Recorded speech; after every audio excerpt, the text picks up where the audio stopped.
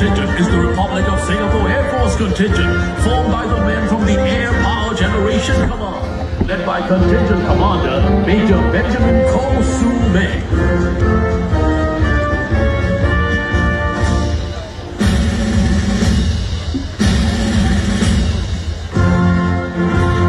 Finally, the fourth of Honor contingent is the Singapore Police Force contingent, formed by